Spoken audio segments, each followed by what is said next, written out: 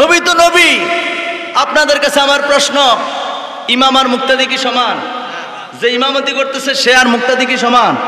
ছেলে আর বাবা কি সমান? মেয়ে আর মা কি সমান? ছাত্র আর শিক্ষক কি সমান?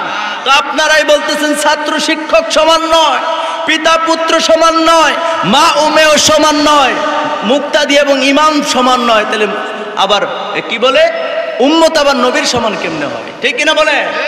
নবী নবীর জায়গা। আল্লাহ রাসূলকে এত মর্যাদা আল্লাহ দিয়েছেন যেটা অন্যান্য নবীদেরকেও দেন আর আপনি সোল্লার ফুটবল কইতেছেন? আপনি বল্টু চৌধুরী কইতেছেন আমি নবীর মতো নবী আমার মতো। নওয়াজবিল্লাহ কইতেন না? বন্ধু আপনাকে গালি দিচ্ছি না আর কারও নাম নিয়ে কটাক্ষ করে এটা আমার অভ্যাস নয়। আমি কারও নাম নিয়ে কোনো বক্তব্য দেওয়ার চেষ্টা করি না। যারা বলে, যে বলে, এই কথাগুলোর থেকে দূরে থাকতে আপনার নামাজ আপনি পড়েন, আপনার রমজানের রোজা আপনি রাখেন, আপনার আবাদত বন্দিকে আপনি করেন, আপনার কি দরকার নবী আমার মতো, আমি নবীর মতো এই কথা বলার? এটা বলে কেন ইমান নষ্ট করতেছেন? ঠিক কিনা বলেন? বাইরে আমার বন্ধুরা, আমার আল্লাহ নবীজির থুতু মোবারক চোখের মধ্যে লাগানোর কারে কারণে ওই চক্ষুটা ভালো হয়ে গেল। আমার ভাইরা আমার বন্ধুরা যে ব্যক্তি কয় নবী আমার মতো আমি নবীর মতো এরকম বল্টু চৌধুরীর থুতু দ আপনার ওই থুতু যদি চোখের মধ্যে বা হাতের মধ্যে লাগায় রেখে শেফা হবে? যেরকম এটা কি রোগ মুক্তির কারণ হবে?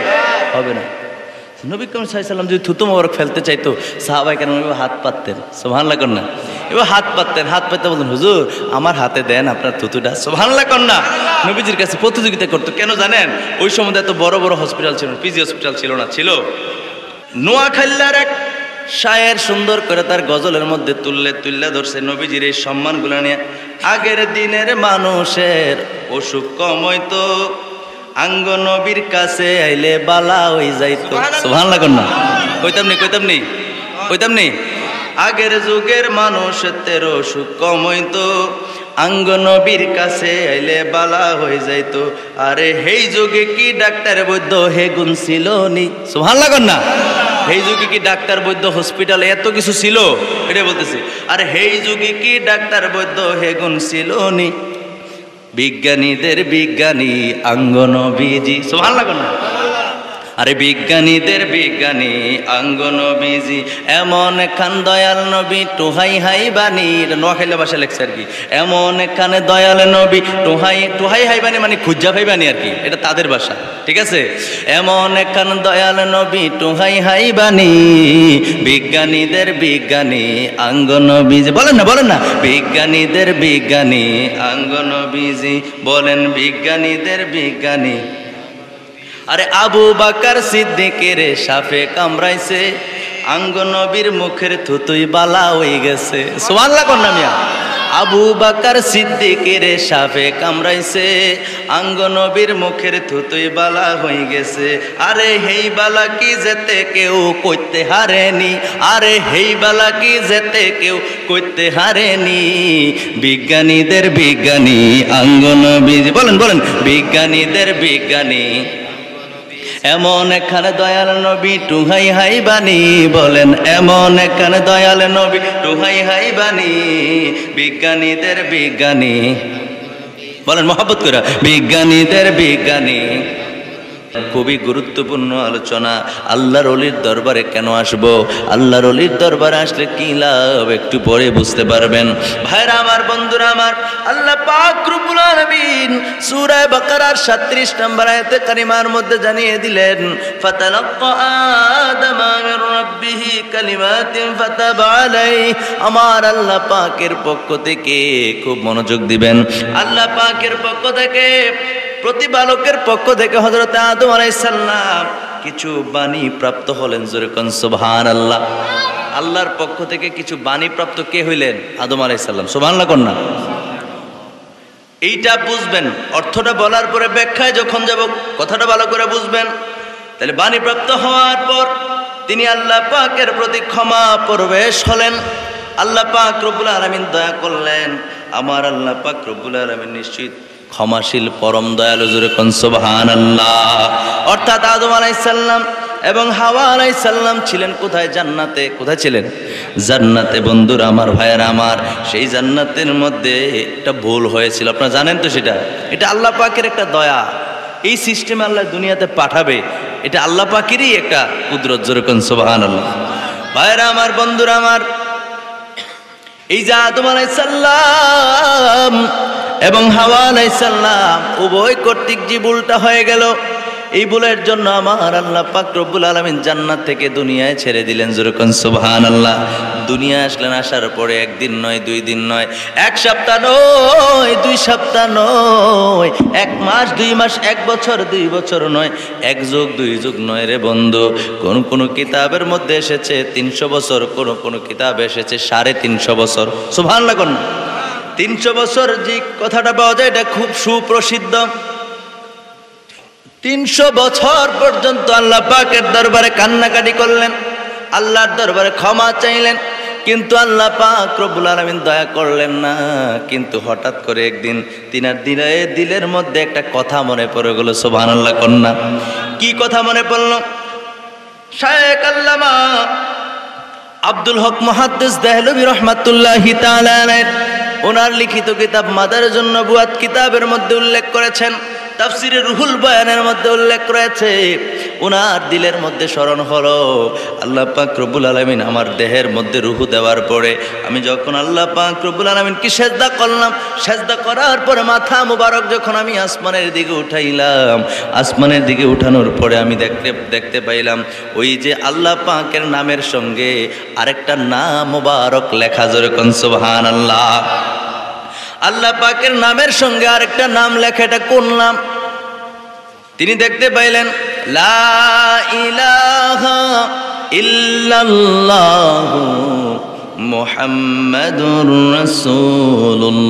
জোরে জোরে বলেন সুবহানাল্লাহ। তিনি দেখছেন কি, লা ইলাহা ইল্লাল্লাহ মুহাম্মাদুর রসুল্লাহ তিনার দিলের ভিতর ওই তিনশো বছর কাদার পরে হঠাৎ মনে হইল, আরে, লা ইলাহা ইল্লাল্লাহ, লাই- নাই কোনো মাহবুদ আল্লাহ সারা এটা বুঝলাম। এটা আমার আল্লাহর পরিচয়। আল্লাহর কথা বলছে। ঠিক আছে, বুঝলাম। মুহাম্মাদুর রসুল্লাহ এটা অবশ্যই আল্লাহ পাকের প্রিয় কোনো মাহবুব যেরকম সোহান আল্লাহ এই জন্য আল্লাহ পাকের নামের সঙ্গে সেই মাহবুবের নাম রয়েছে যেরকম সোহান আল্লাহ আমার ভাইয়েরা, আমার বন্ধুরা, এই নাম মুবারক। তিনার যখন স্মরণ হয়ে গেল, তিনি আর দেরি করলেন না। তিনি বললেন, আল্লাহ আল্লাহ। তোমার নামের সঙ্গে যে নাম মোবারক রয়েছে আল্লাহ, ওই নামের খাতিরে আমি আদমকে তুমি ক্ষমা করে দাও যেরকম সুবহান আল্লাহ ও আমার ইমানদার বাইরা রে, আল্লাহ নবীর নাম মোবারক মাত্র হজরত আদম আলাই সাল্লাম নিলেন। নেওয়ার সাথে সাথে আমার আল্লাহ পাক রব্বুল আলমিন বড় দয়া করে ক্ষমা করে দিলেন। যেরকম সুবহান আল্লাহ আর জোরে বলেন সুবহান আল্লাহ ভাইরা আমার, বন্ধুরা আমার, আদম আলাইসাল্লাম দেখেন, এখানে একটা বিষয় হলো, এটা কেমন নাম মুবারক? যে নাম মুবারকের খাতিরে আদম আলাইসাল্লাম কি পেয়ে গেলেন?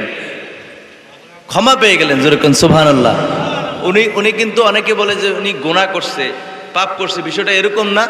এখানে ভুল উল্লেখ করছে, ভুল তো হতে পারে। বলতে হয়, ভুল করে। ভুল কীভাবে হয়? ভুল করেই তো ভুল হয়। ইচ্ছা করে করলে কেটে বল না বেয়া দেবি কথা বোঝেন নাই?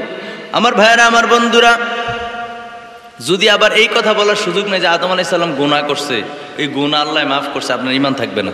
এই কথা বলার কোনো সুযোগ? কথা বল না, এই- এই কথা বলার কোনো সুযোগ? আর এটা আল্লাহ পাখির একটা কুদরত। আল্লাহ পাক রবুল আলমিন চেয়েছেন, এটা হোক, হইলে এই সিস্টেমে ওনাকে উনি দুনিয়া আসবে, এরপরে আমরা আদম সন্তান, সারা দুনিয়ায় ভরপুর হয়ে যাবে। সোহান্লা পরে এটা আল্লাহ পাক রবুল আলমিন জানতেন, আর এটা ওইভাবে আল্লাহ পাকের পক্ষ থেকেই হয়েছে। এই জন্য এটা গুনাহ নয় সোমাল্লা পরে ভাইরা আমার, বন্ধুরা আমার, এটা কেমন নাম মুবারক? যে নামের খাতিরে, যে নবীর খাতিরে ফেরেস্তাদেরকে আমার আল্লাহ পাক রব্বুল আলমিন হুকুম করলেন, ও আমার ফেরেস্তারা তোমরা আমার সে আদমকে, তোমরা খলিফা আদমকে কি করো? সেজদা করো। সুবহানাল্লাহ পড়েন।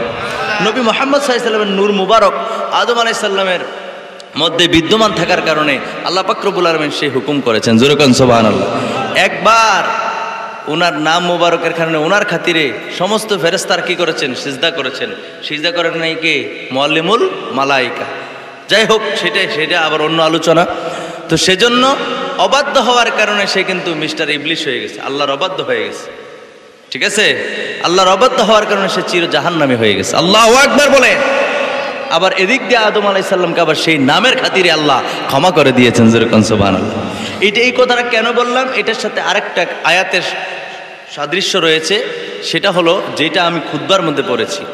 আমরা আদম সন্তান। আদম আলাইসাল্লামকে ক্ষমা করেছেন এই নামের খাতিরে। কারণ আমাদের ক্ষমাটা কেমনে হবে, এটা তো জানতেই হইব। কথা কয় না। আমি কি নিজের মন করা কথা বলতেছি? তাহলে একটু আওয়াজ করেন। এটা কি আমি মন করা কথা তো আর বলতেছি না? তাহলে সুরে বাকারার সাতত্রিশ নম্বর আয়াতের এটা বুঝলাম। বুঝছেন তো আপনারা? তাহলে আমরা তো সেই আদম আলাইসাল্লামের সন্তান। না বল? নাকি বানরের? কথা করে কইতে নাকি শুনছেন না? যাক হ্যাঁ যে বানর থেকে মানুষ, যাক, সেটা সংশোধন হয়ে গেছে বা এটা নিয়ে আলোচনা হয়েছে এটা নিয়ে কথা বলতে চাই না মানে কথার প্রসঙ্গে আসছে, সেজন্য বলছি। আমরা তো আদম সন্তান নাকি? আওয়াজ করে কোন, আদম সন্তান না? সুতরাং যেহেতু আমরা আদম সন্তান, আমাদের ভুল হইলে ক্ষমাটা কি? এটা জানার দরকার আছে না নাই?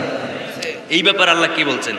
সুরে নিসার সুরে নিসার মধ্যে আল্লাহ পাক রব্বুল আলামিন ইরশাদ করেছেন, আমার সাথে বলেন بسم الله الرحمن الرحيم ولو أنهم إذ ظلموا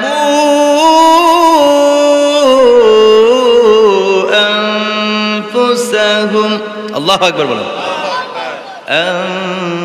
أنفسهم جاءوا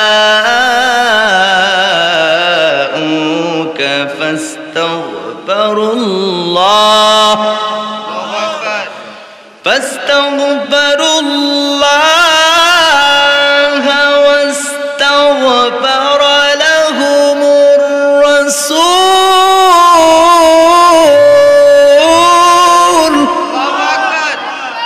لهم الرسول لوجدوا الله. রহিমা। আল্লাহ পাক রুবুল আলমিন মধ্যে চৌষট্টি নাম্বার আয়তে কারিমার মধ্যে আমার আল্লাহ পাক রুবুল আলমিন জানিয়ে দিচ্ছেন ওয়ালাউ আন্নাহুম ইযলামু আনফুসাহুম জাউকা।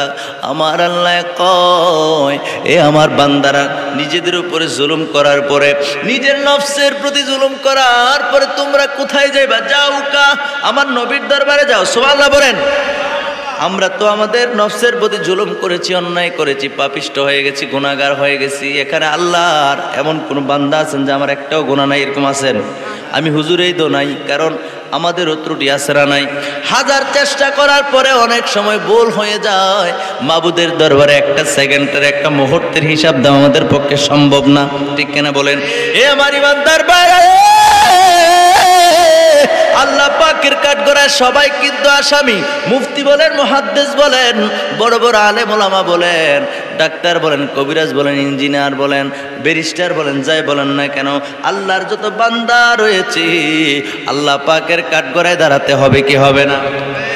মানে অর্থাৎ ভুল ত্রুটি আছে। আল্লাহ যদি ক্ষমা করে দেয়, এটা আল্লাহ এটা আল্লাহ পাকের দয়া, ঠিক কিনা বলেন? কারও কম, আমি ওইটাই বুঝাইতে চাইতেছি, অর্থাৎ ভুল ত্রুটি সবারই আছে। আপনার যদি দশটা হয়, আমি হুজুরের একটা হইল আছে। কথা বুঝেন নাই? কেউ নিষ্পাপ নয়। নিষ্পাপ হচ্ছে আল্লাহর নবীরা জোরে কোন আল্লাহ আর আউলিয়া কেরামরাও নিষ্পাপ। কীভাবে? আল্লাহ ওনাদেরকে ক্ষমা করে দিয়েছেন। আমাদের মধ্য থেকে সম্মানিত করেছেন। আল্লাহ পাক রব্বুল আলামিন আউলিয়া কেরামদেরকে সে মর্যাদা দিয়েছেন। কথা বলেন ঠিক কিনা? ভাইরা আমার, বন্ধুরা আমার, আমরা আমাদের নফসের প্রতি জুলুম করলে কোথায় যাব? আমার আল্লাহ পাক রব্বুল আলামিন বলেছেন যা আল্লাহ আকবার। আমার নবীর দরবারে যাও, আমার নবীর দরবারে যাও, গেলে ফাস্তা গোফারুল্লাহ খুব খেয়াল করেন ফাস্তা গোফারুল্লাহ নবীর দরবারে গিয়া তোমরা আমি আল্লাহর দরবারে ইস্তেগফার পর ক্ষমা চাও। কে কইতেছে? আরে জোরে কন্যা, কথাটা কা আল্লাহ বলতেছেন নিজেদের প্রতি জুলুম করেছ, নিজেরা অন্যায় করেছ, গুনাহ করেছ। এখন নবীর দরবারে যাও। নবীর দরবারে গিয়ে কি করো? ফাস্তাগফিরুল্লাহ। আমি আল্লাহর দরবারে ইস্তেগফার করো, ক্ষমা চাও। আমি আল্লাহর দরবারে তাওবা করো, ক্ষমা চাও। ওয়াস্তাগফার লাহুমুর রাসূল। তুমি যে ক্ষমা চাইলা নবীর দরবারে গিয়া আর আমার রাসুল যদি তোমার জন্য সুপারিশ করে, তোমার জন্য ক্ষমা চায়, আমার আল্লাহ আমার আল্লাহ জানায় দিলেন তাওয়াবার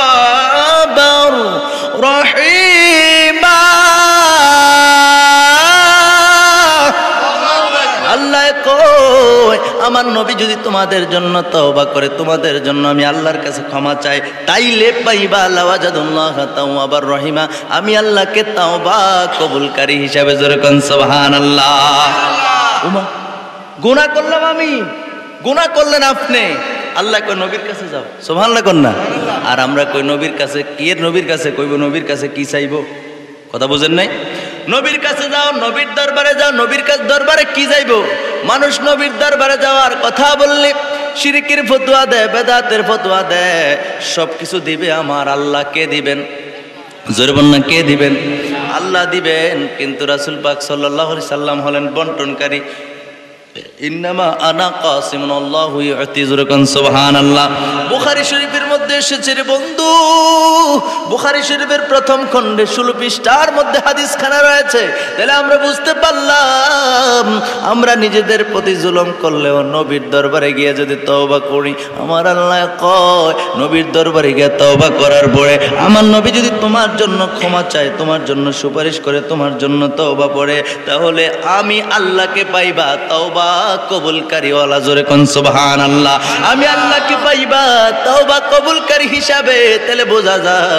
নবী যার জন্য কথা বলবে আল্লাহর কাছে, নবী যার প্রতি রাজি হয়ে যাবে, নবী যার প্রতি খুশি হয়ে যাবে, নবী যার কথা আল্লাহর কাছে বলবে, সেই হবে নাজাত প্রাপ্ত কথা কোন ঠিক কিনা?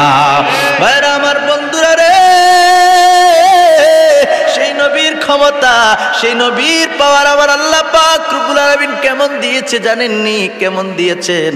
নবী চাইলে রহমাতুল্লিল আলমিন, নবী রহমাতুল্লিল আলমিনকে আমার আল্লাহ পাক রুবুল আলমিন এমন মর্যাদা দিয়েছেন। যেটা আপনি আমি কল্পনাও করতে পারব না। উহুদের ময়দানে আনহু যুদ্ধ করতে করতে গো, ওনার একটা চক্ষু বের হয়ে গেছে, খুব মনোযোগ দিবেন, একটা চক্ষু বের হয়ে গেছে। উনি চক্ষুটার মধ্যে হাত লাগাইয়া আল্লাহর নবীর কাছে আসলেন এসে বললেন, ইয়া রাসূলুল্লাহ, ইয়া হাবিবাল্লাহ, যুদ্ধের ময়দানে তীরের আঘাতে আমার চক্ষুটা বের হয়ে গেছে। হুজুর গো, আমার এই চক্ষুটা যদি আপনি ভালো করে দেন, তাহলে আমার, আমি তো আরও আপনার খ্যাতমত করতে পারব যেরকম সুহান বন্ধুরা রে আমার,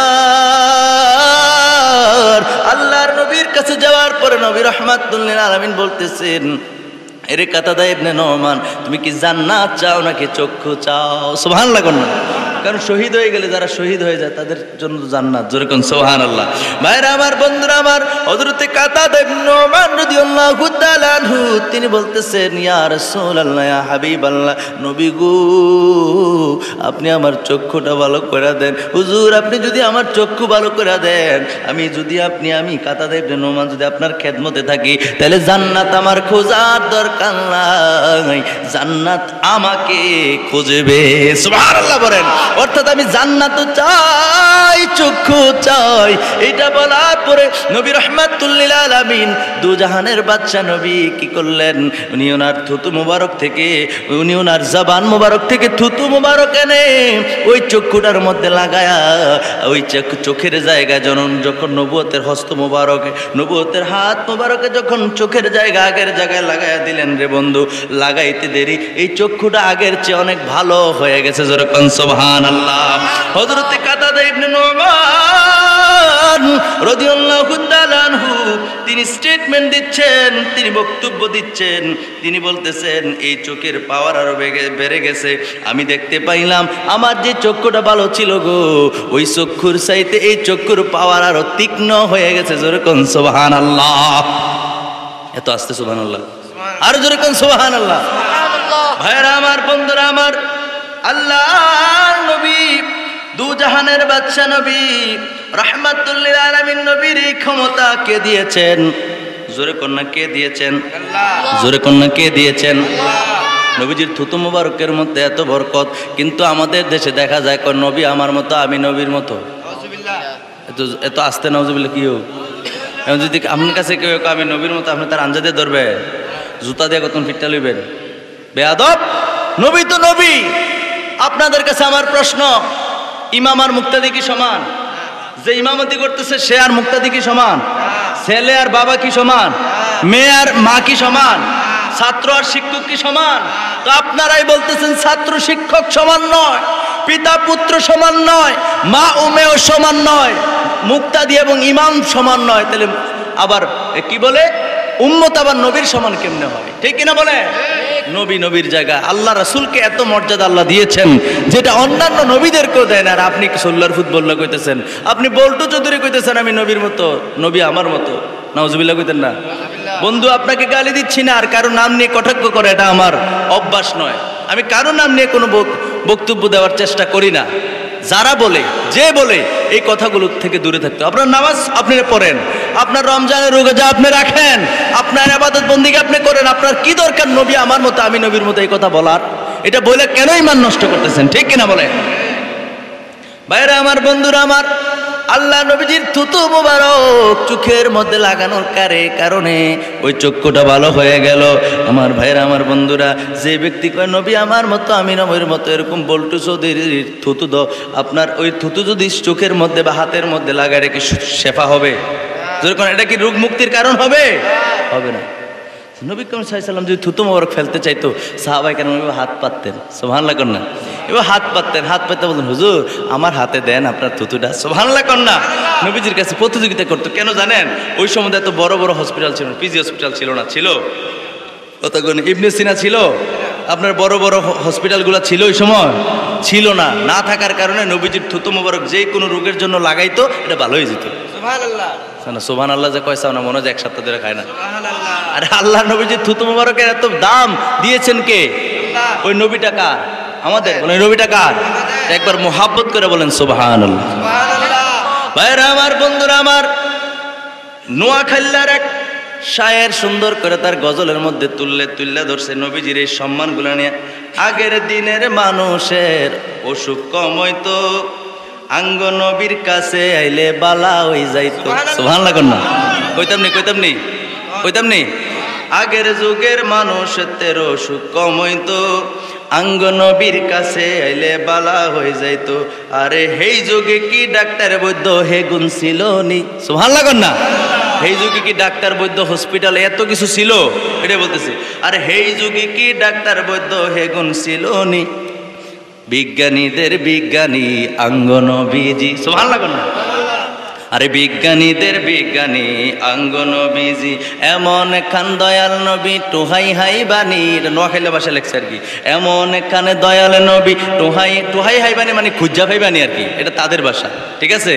এমন খান দয়াল নবী, টুহাই হাই বাণী, বিজ্ঞানীদের বিজ্ঞানী আঙ্গন বিজি বলেন না বলেন না, বিজ্ঞানীদের বিজ্ঞানী আঙ্গন বিজি বলেন বিজ্ঞানীদের বিজ্ঞানী আরে আবু বাকার সিদ্দিকের সাফে কামড়াইছে। আঙ্গ নবীর মুখের থুতুই বালা হয়ে গেছে। সোয়াল্লা কন্যা মিয়া।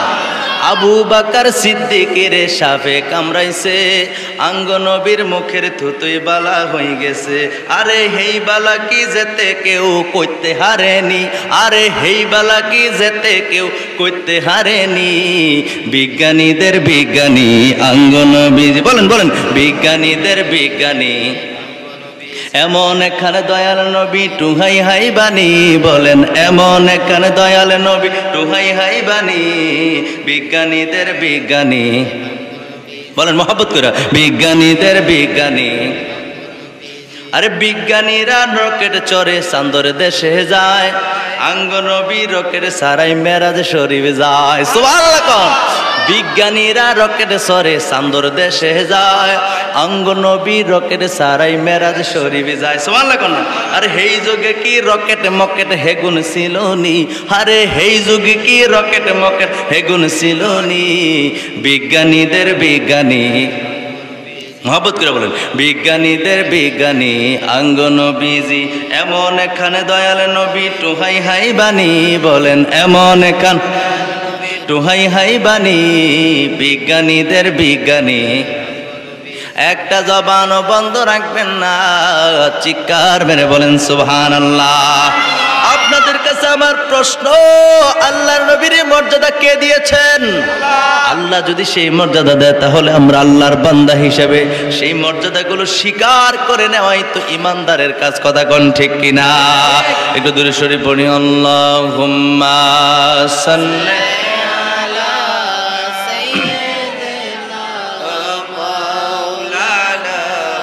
محمدًا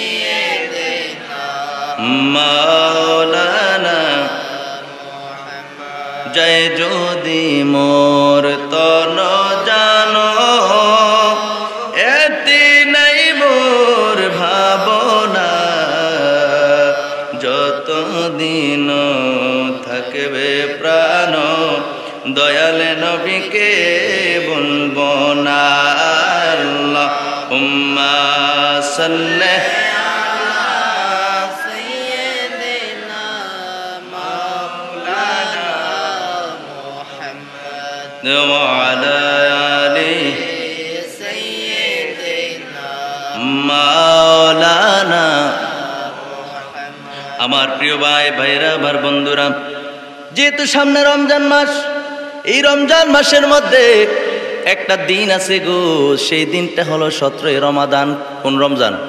সতেরোই রমজান। সতেরোই রমাদান বদর দিবস, অর্থাৎ বদরের যুদ্ধ অনুষ্ঠিত হয়। আল্লাহ আকবার বলেন। ইমানদার ইমানদার, আর ঘুমায়ও না, একটু নাড়াচাড়া দিয়ে উঠো। ও ইমানদার রে। আল্লাহর নবীর সাহাবাকারাম নবীর সঙ্গে জীবনের প্রথম যুদ্ধ, ইসলামের প্রথম যুদ্ধের নাম হলো বদরের যুদ্ধ।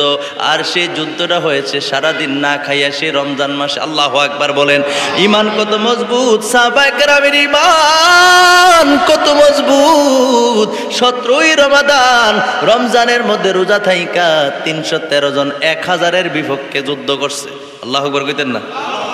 তিনশো তেরো জন মুসলমান। আর কাফের কয় যাও ওমা কথা কয় না। কত কতজন?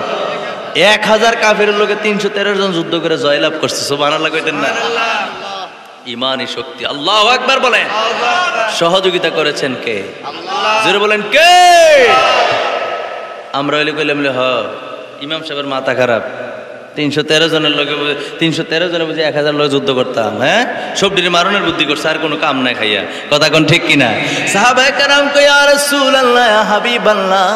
আপনার যদি হুকুম পায় নিজের জীবনটা কোরবান করে দেব।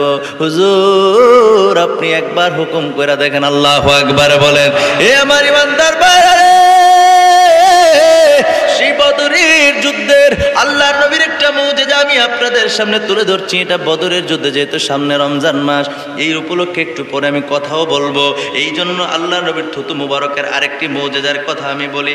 বদরের যুদ্ধে হজরতে মুয়াজিব নাম রাদিয়াল্লাহু তাআলা আনহু, উনি যুদ্ধ করতে করতে আবু জাহেলের পুত্র ইকরামার হাতে ওনার ইকরামার তরবারির আগাতে হজরতে মুআজিব নেয়ামরের একটা হাত পড়ে গেল জোরে জোরে কোন আল্লাহু আকবার। আর জোরে বলেন আল্লাহু আকবার। হজরতে মুআজিব নে আমর আল্লাহ তালানহুর ওই যুদ্ধের ময়দানে আপনার আবু জাহেলের ছেলে ইকরামার তরবারির আগাতে ওনার একটা হাত দ্বিখণ্ডিত হয়ে গেছে। আল্লাহ আকবার না। আয় হায়, আমরা যদি একটা আঙ্গুলো ফুস করে ও মা গো, খাইছে। হেবাটার যন্ত্রণা সারাদিন কেউ বিরন যায় না কাছে কথা কোন ঠিক কিনা? ওই ইকরামার এক কুবে ওই সাহাবির হাত একটা দ্বিগুণিত হয়ে গেছে। আল্লাহ একবার ইনি বিচলিত হলেন না। আল্লাহর নবীর পাওয়ার, আল্লাহর নবীর ক্ষমতা তিনি জানতেন বিদায়। এদিক ওদিক ছোটাছুটি না কইরা নবীর সাহাবি হজরতে মুয়াজিব না আবর রদিয়াল্লাহু তাআলা আনহু, আল্লাহর নবীর কাছে সেই দ্বিখণ্ডিত হাতটা যেটা টুকরা হয়ে গেছে, আলাদা হয়ে গেছে, ওই হাতটা তিনি অপর হাতে তৈরা আল্লাহর নবীর কাছে দৌড় দিলেন। সেই বদরের যুদ্ধের কথা আমি বলতে ইসলামের প্রথম যুদ্ধের কথা বলছি। আল্লাহর নবীর কাছে গেলেন, গিয়ে বললেন ইয়ার সোল আল্লাহ হাবিব আল্লাহ নবী গো ও মায়ার নবী, দয়ার নবী। ওই ইকরামার কুব ইকরামার তরবারির আঘাতে আমার হাতটা আলাদা হয়ে গেছে। হুজুর, আমি বিশ্বাস করি আপনি চাইলে আমার হাতটা ভালো করে দিতে পারেন। আল্লাহ আর আমরা যদি এই কথা কই কই, শিরিক শিরিক, নবীর কাছে গেছে, ওমা, হাত ভালো করে তো আর আল্লাহ না ভালো করে দিব। আল্লাহ তোমার খাওয়াবে, তুমি ঘুমাই দেখো তুমি খেত লাগাইও না। তুমি কোনো কিছু করো না, খালি শুয়ে থেকে, তোমার খাওয়ান দিব। আল্লাহর তো ঠেকছে, আল্লাহ বান্দা বানাই হ্যাঁ আপনার ঘরে খাওয়ান দিয়ে যাব? যাবার টের রাখছে নাকি আসমান থেকে দান করব আপনার দিয়ে ফসল ফলাইবো কে? তা আপনি ফসল কাজ করছেন বিদে তো ফসল আপনার ঘরে আইছে। আরেকবারে ঘুমাইছে শীত তো ইয়ে হেবাটার ঘরে কি ফসল যাইবো? কথা কনে যাইবো? দিছে তো ভালো আল্লাহই করছে। এই ক্ষমতা রাসুলকে দিয়েছেন কে? তো মূলে তো আল্লাহ। কিন্তু দিয়েছেন তো আপনারে তো এই ক্ষমতা দেয় না দিয়েছে রাসুলকে। সুবহানাল্লাহ কন্যা তো আমরা তো ওইটাই বলতেছি। ভাইরা আমার বন্ধুরা আমার শিরিক শিরিক বেদাত বেদাত তো কইরেন না তো ফতুয়া মাইরেন না। আল্লাহর নবীর কাছে গেলেন সাহাবাই কেরাম জানতেন, এই ক্ষমতা রাসুল্লাহ জানতেন বিদায়। সাহাবাই কেরাম বিচলিত হতো না। দৌড়ে নবীর কাছে গেছে, গিয়া বলে, ইয়া রাসূলুল্লাহ হাবিব আল্লাহ নবী গো, ও মায়ার নবী, দয়ার নবী, ইকরামার তরবারির আঘাতে আমার হাতটা দ্বিখণ্ডিত হয়ে গেছে। হুজুর গো, আমার হাতটা আপনি ভালো করে দেন। আল্লাহ একবার বলে। আল্লাহ নবীর থুতু মুবারক, আবার জবান মুবারক থেকে থুতু মুবারক নিলেন। নিয়ে ওই হাতরা কাটা হাতরা, ওনার দ্বিখণ্ডিত হাতরার ওই কাটা অংশের মধ্যে এদিকে এবং ওদিকে লাগাইলেন। লাগাইয়া বিসমিল্লা বলে আল্লাহর নামের উপরে যখন লাগাইলেন, সাথে সাথে হাতটা ভালো হয়ে গেল। হায় হায় হায়। আমরা মুসলমান হয়ে নবীর এই মৌজেজা বিশ্বাস করতে চাই না। কয়, হুজুরে গল্প কয়, গল্প না রে বন্ধু, ওই বদরের প্রান্তরে যারা যুদ্ধ করেছে, তারাই বলতে পারে, আল্লাহ নবী সে বদরের প্রান্তরে আরও কি করেছে, কথা বলেন ঠিক কিনা? আমাদের কাছে এগুলো গল্প নয়, আল্লাহর নবীর এই মৌজেজা। আল্লাহর আল্লাহর অলিদের হচ্ছে কারামত, নবীদের হচ্ছে মৌজেজা, আর আল্লাহ পাক রব্বুল আলমিনের হচ্ছে কুদরত। যেরকম সোবাহান আল্লাহ আরও জোরে বলেন সোবাহান আল্লাহ ভাইরা আমার, বন্ধুরা আমার, তিনি এই যে কর্তৃত হাটটা দ্বিখণ্ডিত হয়ে গেল, ওই হাটটা নিয়ে হজরত উসমান রদি আল্লাহ তালানহুর উসমান রদি আল্লাহ তালানহুর খেলাফত কাল পর্যন্ত উনি এই হাটটা নিয়ে উনি সম্পূর্ণ সুস্থ ছিল। এতদিন পর্যন্ত উনি হায়াতে বের পেয়েছেন, কিন্তু কোনোদিন এই হাতের মধ্যে আর কোনো সমস্যা হয় না এই সুমাল্লা পড়েন আর কোনো সমস্যা ওনার দেখা দেয় নাই। সুমাল্লা বলেন না।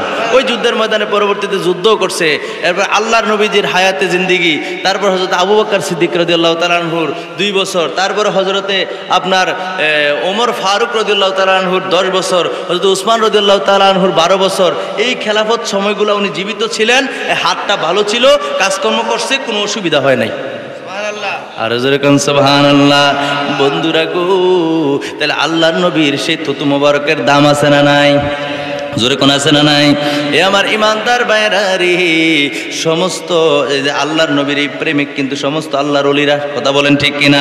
যত আল্লাহর অলি আছে, সবাই কিন্তু আল্লাহর নবীর পাগল। যারা নবীর প্রেমে বিবুর হয়েছে, যারা নবীর প্রেমে পাগল হয়েছে, আল্লাহ পাক রব্বুল আলামিন ফরজ ইবাদতের পাশাপাশি যারা সঙ্গে যারা প্রেম করেছে, তারা খেলাফত প্রাপ্ত হয়েছে, তারা দিন ধর্মের খেদমত করেছে। আল্লাহ পাক রব্বুল আলমিনের কুদরতিভাবে তাদের সে বেলায়েত এসেছে। আর যার মাধ্যমে তারা দিনের খেদমত করেছে, কথা বলেন ঠিক কিনা? আর ওই পাওয়ার দিয়ে তারা আপনার কারামত দেখাইছে, কথা বলেন ঠিক কিনা? আল্লাহ রাউলিদের কারামত সত্য না মিথ্যা? উমা, যেমনি আওয়াজ করছেন, মনে হয় যে সব মিথ্যা। আল্লাহ রাউলিদের কারামত সত্য না মিথ্যা? ভাইরা আমার, বন্ধুরা আমার, বিশেষ করে ভারতীয় উপমহাদেশের মধ্যে আল্লাহর অলিদের কোনো তুলনা হয় না। ওনাদের কারণে আজকে আমরা মুসলমান। ওনারা মানুষকে এই দিনের দাওয়াত দিয়েছেন লেংটি পড়তো মানুষ। বুঝতো না, কি কাপড় পরবো, কি খাইবো, কি চলবো, হালাল কি, হারাম কি। দিন ধর্ম ইসলাম ইমানের দাওয়াতে ছিল না। কথা কোন ঠিক কিনা? এই আল্লাহর আস্তে আস্তে আস্তে আস্তে করে করে মানুষকে সেই লুঙ্গি, লেংটি খুলে লুঙ্গি ভরাইছে। কথা কোন ঠিক কিনা? সেই ইমান ইমান নামক মহামূল্যবান সেই দৌলত আল্লাহর অলিদের মাধ্যমে আমরা পেয়েছি। ঠিক কিনা বলেন? সুতরাং আল্লাহর অলিদের দামান ধরবো না, ছাড়বো। উমা, কথা কানে ধরবো না, ছাড়বো? এখন বর্তমানে এই দরবারের যিনি শাহজাদা রয়েছেন, এই দরবারের যিনি পীরজাদা রয়েছেন, শাহজাদা রয়েছেন সুযোগ্য শাহজাদা আল্লামা মৌলানা মুহাম্মদ হোসেন মোবারক খান নকশবন্দি। উনি তো আছেন, এই খেদমতে রয়েছেন। আমরা কি ওনার দামানে থাকব নাকি থাকব না? কতক্ষণ থাকব নাকি থাকব না? উনি যোগ্য উত্তরসূরি। দিনের খেদমত তিনি করে যাচ্ছেন। অসংখ্য মানুষের আইডল। অসংখ্য মানুষ জিনার কথা শুনে ওনার বয়ান শুনে কোরআন হাদিসের কথা বলেন, ঠিক কিনা প্রিয় ভাইয়েরা আমার, বন্ধুরা আমার, আল্লাহর ওলি যারা হয়েছে, সবাই নবী প্রেমিক, ফরজ এবাদতের পাশাপাশি নবীর প্রেম যারা গভীরভাবে করেছে, তারাই আল্লাহর হলি হয়েছে, ঠিক কেন বলেন? এই জন্য এক সাহেব তার গজলের মধ্যে বলতে বলতেছেন নবী তোমায় ভালোবাসে যারা আল্লাহর অলি হয়ে গো তারা তোমায় ভালো আল্লাহর অলি হয়ে গো তারা থাকে না কু চিন্তা ভাবনা, তাদের থাকে না কু না তাদের চিন্তা আছে? কোরআন শরীফের সুরে আপনার ইউনুসের বাষট্টি নম্বর আয়তে কারিমার মধ্যে আল্লাহ বলছেন, আলা ইন্না আল্লাহ হিলা আল্লাহ জানা দিলেন, আমার মাহবুব, আমার বন্ধু যারা গো, তাদের কোনো ভয় নাই, তাদের কোনো টেনশন নাই, তাদের কোনো চিন্তা নাই। দুনিয়াও তাদের কোনো ভয় নাই, পরকালও তাদের কোনো চিন্তা নাই। সোভান লাগে কইতেন না? আল্লাহ তো বলছে এই জন্য শায়ের গজলের মধ্যে বলছে, এই কথা তো আল্লাহ রে কার কথা? তো শায়ের তার গজলের মধ্যে বলতেছেন, নবী তোমায় ভালোবাসে যারা, আল্লাহর অলি হয় গো তারা তোমায় ভালো আল্লাহর অলি হয় গো তারা, থাকে না কু চিন্তা ভাবনা, তাদের থাকে না কু না গো, যাব আমরা সোনার না, বলেন যাব আমরা সোনার মদিনা। বলেন আমার মনে জল্পনা, কল্পনা, যাব আমরা সোন হায় রে যাব আমরা সোনার মদিনা। বলেন যাব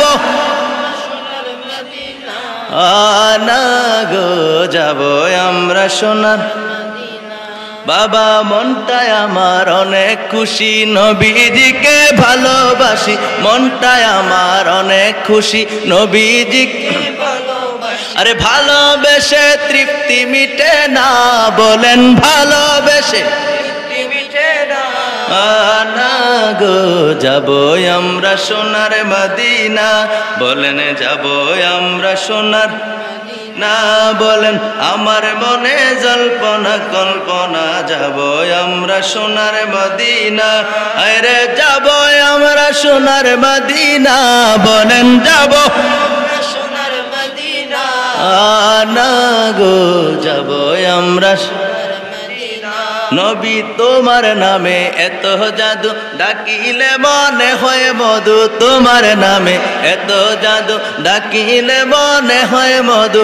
এমন মধু কোথাও মিলে না, বলেন এমন মধু কোথাও মিলে না। না গো, যাব আমরা সোনার মদিনা, বলেন যাব আমরা না, আমার মনে জল্পনা, কল্পনা যাব আমরা সোনার। বলেন, যাব আমরা সোনার মদিনা, বলেন, যাব। সোনার মদিনা গো, যাব আমরা সোনার। একটা জবানও বন্ধ রাখবেন না, উচ্চ কণ্ঠে বলেন সোহান আল্লাহ ভাইরা, আমার বন্ধুরা, আমার হুজুর আসার আসার সময় হয়ে গেছে। আমার কাছে চিঠি এসেছে, সুতরাং হুজুর যদি চলে আসে, আমার আলোচনা শেষ করে দেব। হয়তো হুজুর আসতে হয়তো পাঁচ সাত মিনিট হয়তো এরকম সময় আছে, যতটুকু আমি ইঙ্গিত পেয়েছি। বন্ধুরা, আমার এই সময়ের